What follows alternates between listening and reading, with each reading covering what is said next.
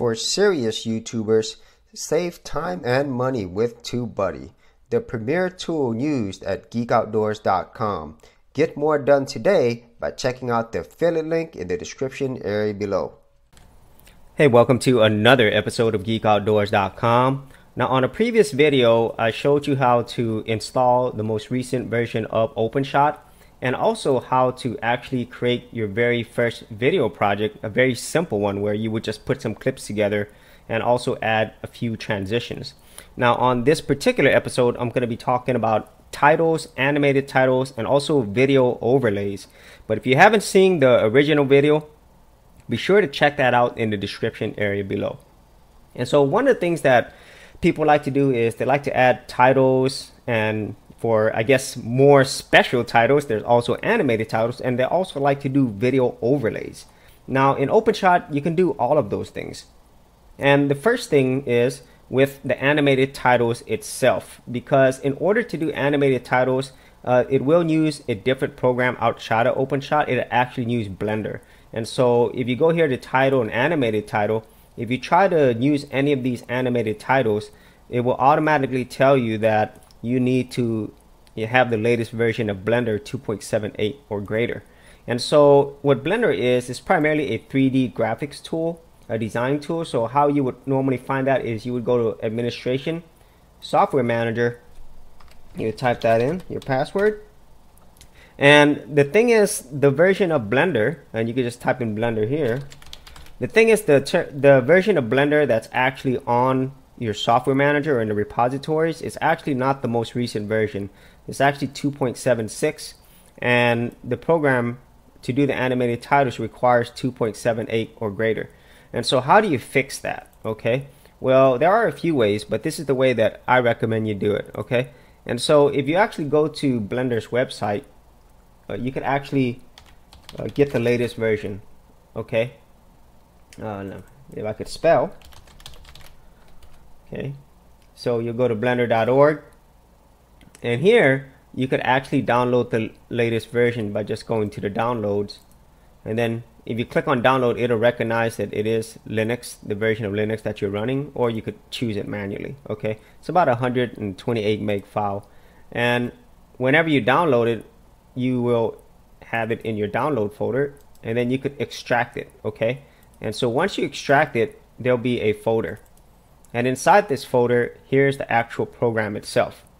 Okay, so this is probably not similar to how you would normally install it, but that's, I think, the easiest way. Okay, now there is another way, and this is often the way that's most recommended to get the latest versions uh, that are not in the repositories is to add the uh, PPA. Unfortunately, there's not an official uh, PPA for Blender as far as I know you can add one from this person called uh, Thomas Schmilix. Uh, Schilix. I don't know if I, said that correctly, but um, I think that's a little more uh, complicated. I would say, or and maybe not the fact that it's complicated. It's just that this is not from the official repositories from Blender. So that's why I'm not going to show you this. Okay, so I'm going to focus on the this method right here where you would change the path to where you extracted it okay and so here I've extracted to my home directory and here under the blender folder I wanted to point to this okay? So what this means is if you go back to OpenShot if you go to edit preferences see these are actually the programs uh, the path that it's going to run. So Blender and Inkscape it knows the default path that these are installed in okay? But I don't want it to go to those paths okay? So I've already have Blender installed if you go here to let me see where do I have it at? I think I might have it under sound and video or maybe not. Let me see graphics yeah. See I already have blender here but this is the old version okay? So when you install it from the software manager or repositories it'll put it right here okay? But that's not the version I want to use. I want to use the most recent version. So what that means is you're gonna have to change the path to this okay? And so the way you do that is um, you know obviously you know where it is but how do you you know how do you tell the program where it is okay so so it's actually this folder right here okay so all you would do is just go into the folder okay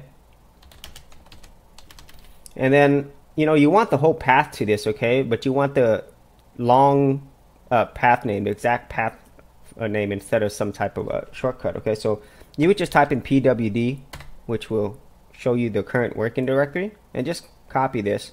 Okay, just copy that entire directory. Come back here to your program, paste it, and then uh, put a forward slash right here. Okay, because that's saying, hey, inside this folder there is an executable Blender. Okay, and you could close that. Now, if you go to your title, animated title, you should be able to click on something and now you'll be able to see a preview. So that means it's pointing to the right directory where the most recent version of Blender is. Okay. Now here's the thing. This actually takes quite a while for it to render, but I really wanted to show this to you first because it's probably going to be, I guess, the most complex setup out of everything else you have to do in Blender in terms of setup. Okay, so let's. Uh, the thing is, it has to render this whole thing out. Okay, so you'll see what I mean by that. It actually has to produce each frame. So here, you put whatever title you want because right now it's default my title. Let's just say awesome video or awesome movie. Let's just say that okay? And you could leave the rest of these the same. You could change this file name if you want okay? Uh, let's just call it movie uh, title okay? And just go ahead and render. And I will say even on a very fast machine it takes a while to render. So what I'll do is I'll come back to this once it finishes rendering Okay, so once the title is actually finished rendering or the animated title, you'll see it right here in your project. So what I recommend is, since it took so long to render, be sure to save your project so you don't have to do that again. And let's see how that looks. So I'm gonna bring this movie title right here, okay, on its own track. And so if you were to actually play this track, see, there it is. There is your new animated title. It looks pretty good, you know, and that's actually one thing that I really like about OpenShot. Although it's a very simple tool, it does offer a better visual representation. And these things, they are not available in Kdenlive by default. So I really like that they give that to you. Okay, that it's already available and you know you don't have to do anything special except that uh, initial uh, setup that I just showed you. So that's really cool. So, and check it out, overlays over the actual video. And then I'm going to be talking about video overlays here in a second. So that's how you would create animated titles. And if you saw there under animated titles, um, I don't know if you saw it, but you could even change the font alignment. And there's so many things you could do. See right here, there's a lot of different, uh, you know, features or uh, different types of styles you could put on your actual animated title. So that's really, I think, a great feature if you want to add a little more uh, animation to your titles, you know, pun intended, okay? But what if you just want very simple titles, you know, with text and stuff and, and not have it be animated? Well, you could do that as well. So let's go ahead and move these around a little bit, okay? And that's why I, you know, I really enjoy OpenShot uh, because you can do a lot of cool stuff and it doesn't take long you know, and at the same time, it's not complex. That's the most important thing because a lot of video editing tools, they're pretty complex, okay? So what I'm going to do, I'm going to go ahead and remove this from the project timeline. And what I'm going to do is I'm going to add a title, okay? So here you could choose title and right here, you know, OpenShot has already provided you with a lot of default titles as well, okay? Different designs, different styles, a different positioning of it, you know, and like I said, it's very easy for you to change things. Okay, so with the whole theme of movies, let's go ahead and add this one and let me see, what should I call this? Uh, let's just say, I don't know, I'm, I'm not going to change this. Okay, so let's just go ahead and save it. This movie is rated R for rad. okay, so let's go ahead and bring this down here. Okay, so I want to put this right before the actual video starts okay? So see it just shows right up. Very simple. But also you could make it you know a little nicer. You could have it fade in. You know if you right click on your mouse um, on the actual clip itself you see there's other options okay? There's even keyframing here. But just to keep things simple uh, let's go ahead and do a fade okay? So let's start a clip. You know you could play around with this you know and just do that. Okay, and there's also different types of animations as well, but let's let's start with fade first. fade in fast, fade in slow. Let's go ahead and fade in fast. Okay. So let's see how that looks. Wow. Yeah. Pretty cool. But, you know, you could also uh, remove that as well or actually change it. Okay. And let me see if I could remove the previous one. Oh, that's okay. You could always like undo stuff as well. Okay, so it's not a big deal. Let's see how that looks. Ooh, I'm gonna have two different fades. No, sweet. So very simple, and just like the other thing that you could do, you know, you could actually change uh, the actual, you know, title that you have on there and the text, which is really cool. But you know, very easy, and you can move things around, okay, as well. So nice features and easy way for you to add titles. And if you notice on the titles itself, uh, you could actually, you know, add different types of font as well. See? So it gives you a lot of flexibility. And I do love the title, as I mentioned earlier, I do love the title, um, animated title, and the transition effects, uh, you know, interface way more than I do Kdenlive's. I wish Kdenlive had, you know, a very nice GUI interface like this, okay? Uh, because doing things like this, which seems simple here, it's pretty, it's a pain to do in Kdenlive. I'm not gonna lie to you. You know, so if Kdenlive has something like this, it would be extremely awesome. Okay, so that is simply how you would add animated titles and also regular titles as well. So now let's talk about video overlays. Okay, so what is overlay mean? Okay, well, what that means is, say for example, uh, you actually wanted to put another video, right?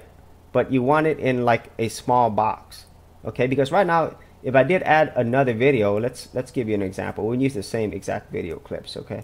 So, say for example, I wanted to add a clip at the beginning of this clip as well, while this clip is playing. Okay, so I want to add this clip, right? So if you did this right now and you press play, well, the one on top, it's on top so it'll go above this particular video you know and that's not what I really wanted. I want both videos to play but this one to be smaller okay? So if you right click on the clip you could use what's called transform okay? And just click on that and now you could easily transform the size of this you know really easy to do. And uh, once again way easier to do than Caden Kdenlive you know and I might be sound like I'm bashing Caden Kdenlive but I really, I really love the ease of use and OpenShot, but I love the power of Caden Kdenlive. So I kind of wish uh, Kdenlive had both, so that I don't have to move around. So I forgot you could also increase the size of this, which makes it a lot easier to see. So um, let's go and see how this looks. Okay. So check that out.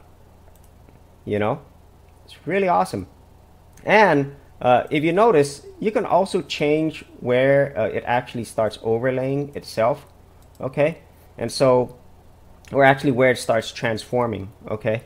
And so right now, I didn't start to transform until like later on in the clip, okay? But you could see how that would work. Like if I deleted this, uh, I could actually start to transform a lot earlier, okay? And there's other things that you could do. You could also do keyframing as well. Um, that basically tells the program when you could start changing things okay?